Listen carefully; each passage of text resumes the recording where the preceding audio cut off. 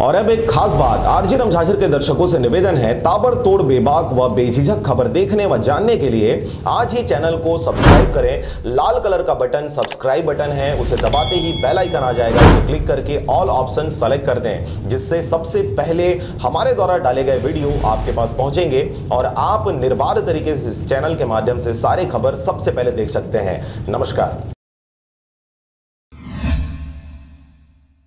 नमस्कार, आप देख रहे हैं आरजे रमझाझर और मैं हूँ पुखराज सिंह। छत्तीसगढ़ की बड़ी खबरों की आज बात करते हैं तो आज की सबसे पहली बड़ी खबर है, छोटी उम्र में स्टार बना सहदेव। बादशाह से लेकर सीएम तक हुए फ़ैन भूपेश को सुनाया अपना हिट सॉन्ग, बघेल बोले बचपन का प्यार। छत्तीसगढ़ रायपुर में इस वक्त दो ही बातें चर्चा में हैं। पहला, बृहस्पति सिंह और टी एस सिंहदेव का सियासी मुद्दा, और दूसरा, बचपन का प्यार, गाने वाले सहदेव। सहदेव छोटी सी उम्र में ही स्टार बन गए हैं। सिंगर बादशाह से लेकर सीएम भूपेश बघेल तक उनके फ़ैन हो गए हैं। सहदेव ने भूपेश को अपना हिट सॉन्ग सुनाया, जिसके बाद बघेल ने कहा कि बचपन का प्यार, वाह। दरअसल बचपन का प्यार मेरा भूल नहीं जाना रे। गाना सोशल मीडिया पर काफ़ी वायरल हो रहा है। इस गाने को सुकमा के रहने वाले बालक सहदेव दिर्दो ने अपने स्कूल में दो साल पहले गाया था। वीडियो वायरल होने के बाद यह बॉलीवुड रैपर बादशाह तक पहुँचा।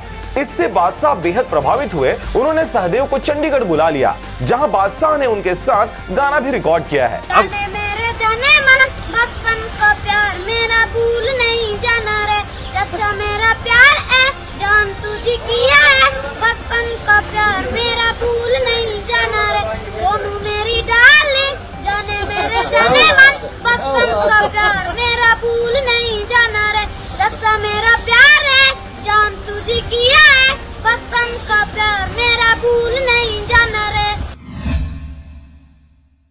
और आज की दूसरी बड़ी खबर की बात करते हैं। प्रदेश में दो तीन दिनों तक लगातार हो सकती है बारिश। मौसम विभाग ने जारी किया अलर्ट। रायपुर, छत्तीसगढ़ के कई इलाकों में मूसलाधार बारिश का दौर जारी है। वहीं मौसम विभाग ने आज प्रदेश में भारी बारिश को लेकर अलर्ट जारी किया है। उत्तर और मध्य छत्तीसगढ़ में बारिश का सबसे ज़्यादा असर रहेगा। बता दें कि राजधानी रायपुर समेत बिलासपुर, पेंड्रा रोड, दुर्ग, राजनांदगांव, कवर्धा में लगातार बारिश हो रही है, जिसके चलते नदी नाले उफान पर है। वही प्रदेश में सबसे अधिक बारिश सिमगा और बस्तर में 40-40 मिलीमीटर दर्ज की गई। लगातार बारिश से तापमान में भी गिरावट हुई है। राजधानी रायपुर में तापमान लगभग चार से 5 डिग्री तक गिर गई है।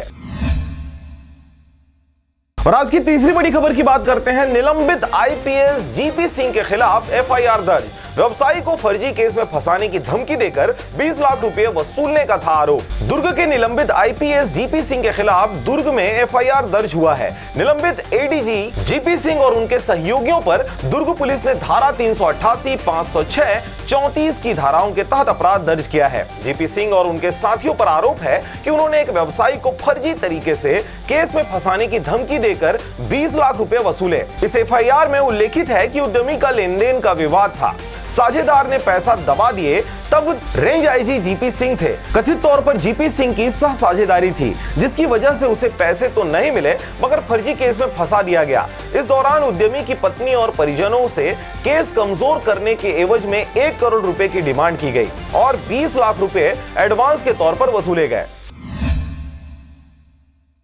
वहीं आज की चौथी बड़ी खबर की बात करते हैं। बंगला यार्ड में गरीब भिखारियों की तंबू तोड़ रेलवे के अधिकारियों ने किया आग के हवाले। खबर है बिलासपुर ज़िले का, जहाँ रेलवे स्टेशन के बंगला यार्ड के पास रेल के अधिकारियों के द्वारा बंगला यार्ड में आठ से दस परिवार जो भीख मांगकर अपने छोटे छोटे बच्चों के साथ तंबू डालकर रह रहे थे, जिसे आज रेलवे द्वारा उनके तंबू को तोड़कर आग के हवाले कर दिया गया। भारत देश में चुनाव से पहले गरीबों को लुभाने के लिए नेताओं के द्वारा कई तरह के हथकंडे अपनाए जाते हैं। गरीबों को पक्का मकान देने की बात कहते हैं, उनको रोज़गार प्रदान करने की बातें करते हैं, महँगाई, भ्रष्टाचार को खत्म करने जैसी कई प्रकार के वादे किए जाते हैं। और जब चुनाव जीत जाते हैं तो गरीबों की तरफ़ पलटकर भी नहीं देखते। आज़ादी को तिहत्तर साल से ज़्यादा होने को है।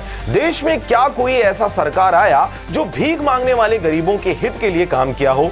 सत्य यह है कि ऐसा कोई सरकार नहीं है, जो इनके हित के लिए काम करे। सरकार ने अगर इनके लिए काम किया होता तो आज ये लोग ऐसी स्थिति में नहीं होते और आज ये लोग भी कंधे से कंधा मिलाकर सबके साथ खड़े होते। मौसम में साहब, और ये बारिश के मौसम में सरकार देखिए झुग्गी झोपड़ी पूरा तोड़ा जा रहा है।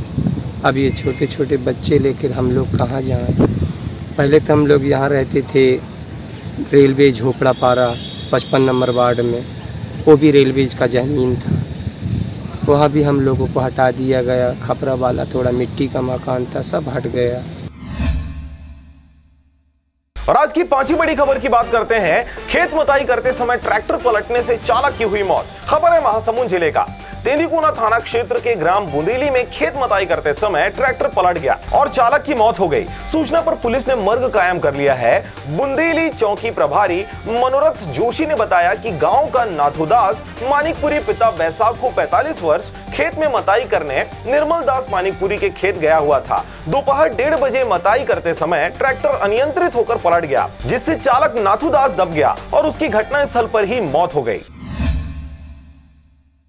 और आज की छठी बड़ी खबर की बात करते हैं। टिकट काउंटर पर बैठने वाली महिला कर्मचारियों की भारी लापरवाही हुई उजागर।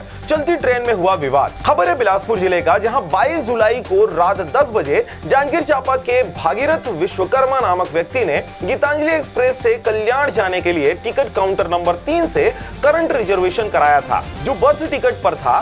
उस पर बैठकर वे नागपुर तक पहुँच भी गए। लेकिन नागपुर पहुँचने पर उसी बर्थ पर दूसरा यात्री भी पहुँचा और फिर विवाद होने लगा। तो मामले में टीटी ने दखल दी और दोनों की टिकट जाँच की तो नागपुर से बुकिंग की गई टिकट वाले यात्री का नाम वो पीएनआर नंबर चार्ट पर दिखाई दे रहा था, लेकिन बिलासपुर से जारी टिकट चार्ट में नहीं दिख रहा था। इस कारण से चलती ट्रेन में विवाद होता रहा। बिलासपुर के यात्री के पास जो टिकट था, उसका स्क्रीन वाला प्रिंट था, इसलिए टीटीयू को उस पर संदेह हुआ और भागीरथ को भूसावल आरपीएफ के हवाले कर दिया गया।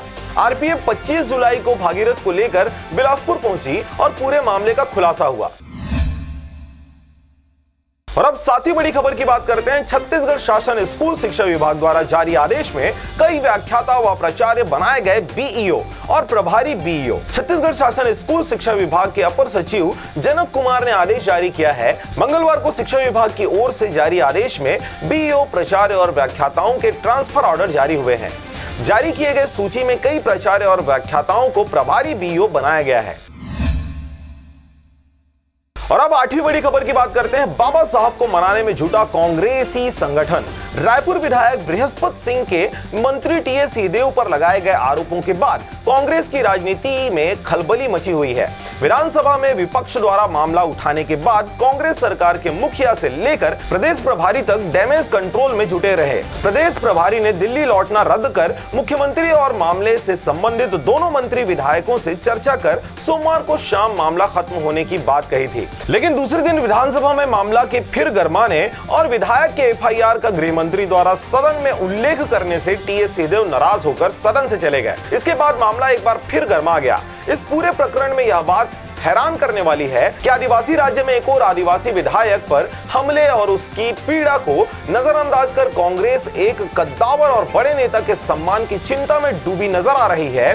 सिंहदेव की नाराज़गी के बाद सीएम और प्रदेश प्रभारी ने मंत्रियों के साथ सिंहदेव से चर्चा की। सिंहदेव ने भी इस मामले में गेंद सीएम के पाले में डालते हुए यही कहा कि इस मामले में अब जो कहना है, सीएम ही कहेंगे। और अब आज की नवी बड़ी खबर की बात करते हैं। आईटीआई प्रशिक्षक से 12 लाख की ठगी। फेसबुक पर बना ठगी का शिकार।